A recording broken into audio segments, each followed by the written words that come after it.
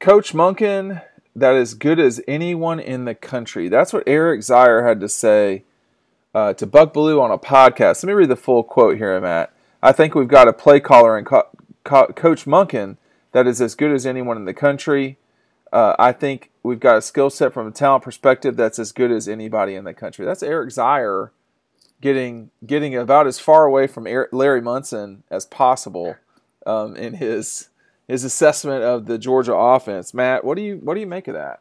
Is, is I mean, well, I think Eric, I think Eric Zeier would love to play under Todd Monken. That's I think he's yeah that would be his ideal dream. But I thought Todd Monken did an excellent job last year, and even in times where it didn't look all that great on offense, especially in the passing game, if you go back and watch, their guys running wide open all across the field. Uh, so the plays were there to be made, and especially down the field, there were guys running wide open, especially late in the Florida game that just yeah. they didn't make it. the The players didn't make it, but. I, I can only imagine what Todd Monken was doing up there in the headset, knowing a lot of these plays should have worked that didn't. But he is a proven play caller. I mean, yes. he put up tons of points at Oklahoma State. The guy's been doing this forever. There's a reason Kirby Smart hired him. And I think the offense is only going to get better and better. Second year in the system, second year with JT Daniels. Now, is he as good as Lane Kiffin or Ryan Day, Lincoln Riley, some of these other great, outstanding play callers in the country? I don't know, but it works. And we saw it last year. His philosophy works. He loves to air the ball out. And, you know, Brock Vandagriff told me multiple times he can't wait to get in there and learn under uh, Coach Monken. Gunnar Stockton has told me the same thing. They're excited to get in there under his system and let it rip down the field. So Todd is telling these young quarterbacks, hey, I'm going to let you throw the ball all around all you want, and we're going to provide you with weapons not only at running back, but at wide receiver and tight end, too. So Eric was right. The talent is absolutely there. I think the philosophy uh, is there, and I think the offense should help Georgia to be able to be one of those teams that can score 40 points a game and outscore their opponent when they need to. Was that's the last part is the most important part when they need to. I don't know how many words that is. Four, three. I mean, uh, you know, those three words matter a lot when they need to because, excuse me, four words. Uh, we've just I mean, all you have to do is listen to what Nick Nick Saban had to say. I think I don't know if it was earlier this year or late last year or whenever. Was talking about sort of the, he didn't put it this way, but the death death of defense. He he said that Alabama had allowed something like 19 points a game on uh, defense in 2020, and they won the national championship. He didn't even think they he, he didn't call that good. Um, but in the new world of college football, you you man, you got to score. I mean, this has become closer and closer to the old Southwest Conference where you're just throwing the ball all over the field and you're de- I mean like Oklahoma and I assume Texas will be in the same category but Oklahoma is going to need to improve its defense to win the national championship. Georgia's got to improve its offense, Matt, and that's that's what Todd Monken was was sent to Georgia to do. And I know it's popular for whatever reason to run Stetson Bennett down, and that's that's fine. I mean, whatever. But there were times when they really scored a lot of points when Stetson was the quarterback. You go back and you look at the the half of the Arkansas game when he actually played. They they were pretty productive on offense, generally speaking. There, the amount of uh, production, the efficiency against Auburn, the Tennessee game. Now after that, everything slowed down.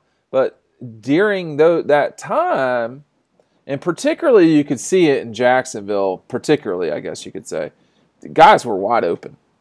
And it was obvious that there wasn't anything that the Florida defense was doing to stop Georgia. Georgia's quarterbacks were not ready to play effectively that day as soon as Stetson Bennett got hurt. And D'Wan Mathis was just lost. But the, the play calls were there, period. I think I think Kirby finally came around to okay, now we do have to outscore everyone. Um, as, think, as, important as controlling the line of scrimmage is and running the football, there's a reason they went hard after Jermaine Burton to flip him. There's a reason they went down and got Arian Smith. You have to score a lot, and you have to score in a hurry at times. I mean, you want to be able to put up points immediately. If you give up a touchdown, you got to get it back pretty quick. And in today's era of college football, you're seeing if the offensive line holds up, quarterback has multiple guys down the field he's able to throw to. It's not just crossing routes here and there. I mean, there's they're pushing the ball down the field, and a lot of that has to do with uh, the receivers. Alabama had multiple receivers who could beat and get behind a defense, and Georgia is bringing in that type of talent, and they have the offensive scheme uh, that allows them to do that. I think too. So not only do you have to score 40 plus a game, I guess now to win a national championship, but you have to be able to score in a hurry when you need to. If you're down by two scores and you know you're in the second half, you have to be able to score pretty quick, and that includes you know involves getting guys open down the field and hitting them. Well, I, I do want to. I don't often come to Kirby Smart's defense because he can do that himself. He does not need me to do it, and I don't maybe articulate it as well as as he would think he does. But I do think that he has been trying to get to this for some time. Actually, um, it's just that Justin Fields left.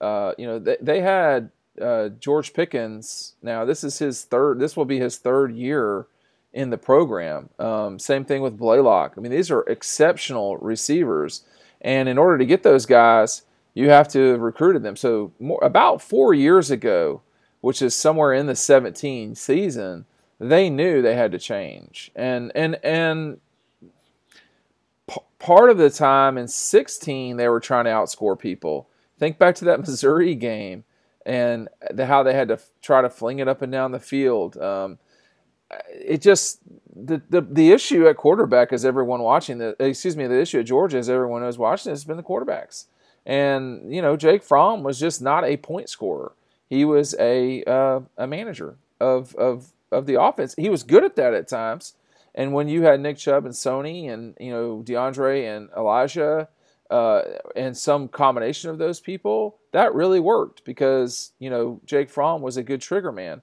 but at the end of the day, you got to score more. And now, if you listen to Eric Zeier, who who does know something about football, right? Um, at least the minimum. Uh, when Eric is saying this, he's just pointing out the opportunity that Georgia's got, which is that you have. I mean, do you think J- Jermaine Burton's a special player? Yeah, I do. I do. I don't know if Georgia's offense would have been if they could play like that under Jim Chaney. He doesn't, you know, I don't know if they're scoring 40 points a game and, and, and scoring, being as explosive as they could be under Todd Monken in his second year. So I do think, I think that's Kirby's important... like, I got to go get a guy who can throw it around a little more and score quicker. Well, let me just say this too. If you go back and study um, whether it was Mike Bobo or now with Todd Monken, you look at Todd Monken's second, third year uh, at offenses, they really score a lot of points. I mean, whether it was at Oklahoma State or at Southern Miss, you're starting to talk about getting closer and closer scoring 50 points a game. If this team averages 50 points a game, I'm not sure they lose a game. Yeah. I mean, but do you think, I mean, let's just say they average 47 points a game. Like, that's what Clemson and Alabama have been putting up. Do you see them losing? I, I don't, actually. I don't because this defense is yeah. as good as anybody in the country. Who has a yeah. better defense than Georgia? It's easy to look at Alabama, but I, I can't name a few of their starters right now. Um, mainly because they just rotate. Five stars come in, five stars come out, and they just rebuild. So I don't know how good they're going to be. I don't think they have the returning defenders that Georgia does. Right. They might be better in the secondary, but I don't think Alabama or anyone's front seven is as good as Georgia's. Clemson's is really good. I don't think it's better than Georgia's. I don't think it's better than Georgia's, and I'm not going to go off on a tangent talking about their spring game, but I will say I was I didn't really know what to make of it. I know they got guys out. Um, I don't know, Matt. Did you see it at all? I saw some of it. Uh, there's a lot going on at. Do, the, do you know why I'm not saying things?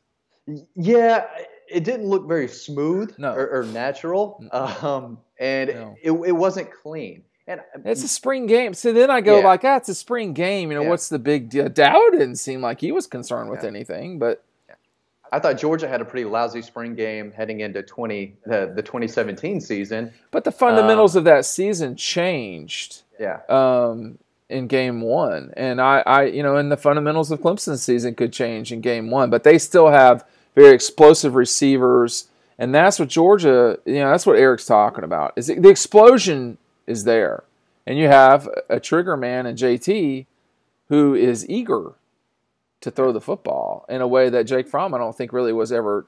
I mean, Jake Fromm wasn't scoring like this. It just wasn't. Right. And the thing is, JT can get better. I mean, he underthrew yeah. a lot of those deep balls, and uh, it, it's hard to overthrow guy like Arian Smith and Jermaine Burton, especially when they get a free release and they're not jammed up the line of scrimmage and they can just go. They're going to get down the field in a hurry. So I, I, don't know if that had to do with his shoulder or whatever was going on. And he did connect on some deep balls, especially in the Mississippi State game. Yes. Uh, I think it'll probably be a little more consistent. A, a, lot of that state game was coverage. Yeah. I mean, it just dictated, yep. hey, you know, we're zero coverage. I mean, if your guy beats our guy, and that's yeah. that's too easy though, man. Like yeah. you can't do well, that. They said you're not running the ball. Well, they certainly you didn't. You're not running the ball. You're gonna. I mean, this new JT Daniels kid is gonna have to throw all over us if you want to win, and that's what happened. Yeah. Well. You, you, you, try to make people hit backhands, man. Sometimes they've really got a good backhand. That's that's the problem with that. But Eric Zeier really thinks that Georgia's in a good position on offense. What do you think? Tell us down below. Uh, when you're not commenting below, we'll see you over on the website, dawgpost.com.